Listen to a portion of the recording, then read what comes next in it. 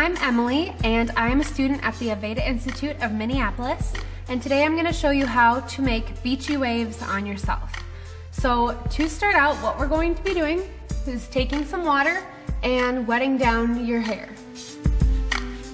I'm doing two braids today because my hair is not too super thick and it takes curl really easily because I have natural curl in my hair already. Now, if you want to practice trying three or four, it really depends. You'll just kind of have to try it out on yourself and see how it all goes. All right, so I've literally put water all over my hair and I'm going to brush that water through on both sides. And I have two equal sections right now. And since my hair also takes curl really well, I'm gonna make these braids a little bit looser. So now, to set my hair, I'm going to use Phomollient. This works really, really well for the beachy wave look. And I'm going to take that and just put it through the hair from right about my ear down to the bottom, all the way to the ends. If you start your braids too high up, it's not gonna look like beachy waves. It's gonna look like almost like a crimper or a different style. It doesn't necessarily look bad, it just looks different. So now that I've got my Phomollient in, I'm going to make a three strand braid. So one, two, and three strands. And I'm going to take one side, pull it over the middle and onto the other side, then this side over the middle and onto the other. And I'm doing this sort of loose, not too loose, but also not too tight. You wanna get as close to the bottom as possible.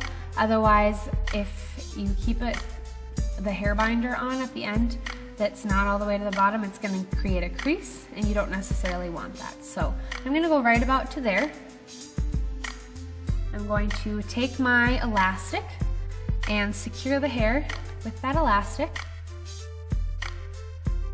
and move to the other side. So I think this side just needs a little more water. Just make sure that, that it's nice and coated.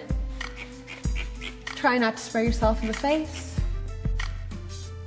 And I'm gonna brush it through one more time.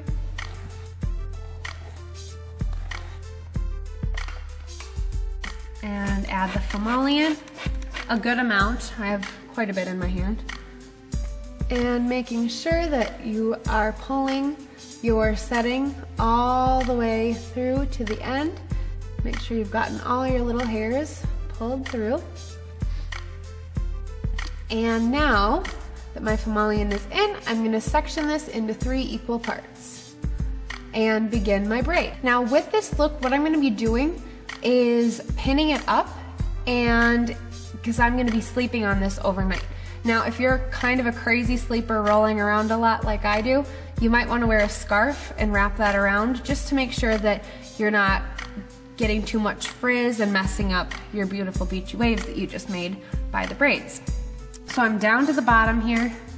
I'm going to secure it again with another elastic, just like so.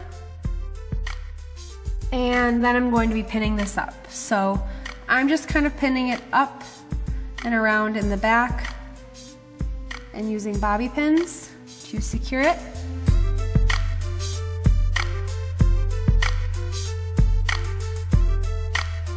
Probably use five or six since I am going to be sleeping on this, just to make sure everything stays in a good place. Nice where I want it. Okay, oh, a little end dropped out. Gotta get that one. Okay, so that's that side, and then I'll do the same on this one pinning them up nicely. And now that I have them all pinned up, I'll show you what it looks like from the back.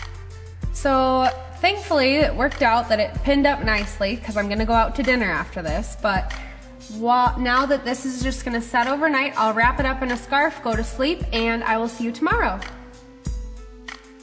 Good morning, I'm back. I have slept on my hair, I slept on it last night.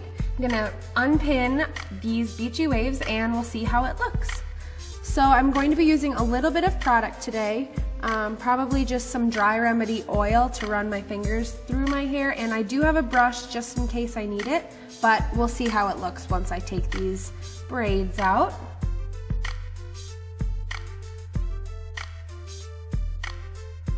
And just gonna be really gentle with the binders.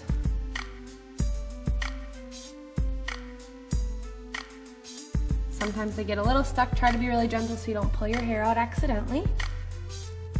And I'm really gently just gonna loosely pull those braids apart. Just one little section at a time.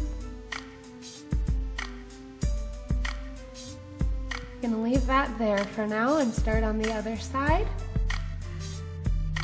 And as you can see, I'm just, with my fingers, pulling one little section apart at a time. Really gently trying not to disturb the curl pattern. All the way to the top. And as you can see, I've got these really, really nice loose waves. So I'm going to use just a few drops of my Dry Remedy oil, just tipping it over and just getting one to two drops there. Running it through my fingers and just starting at the ends, just kind of piecing it through and again, being really gentle, nice soft touch with these. And I'm gonna go close to my scalp, but not too much towards the top because yeah, I don't want it to look oily at all.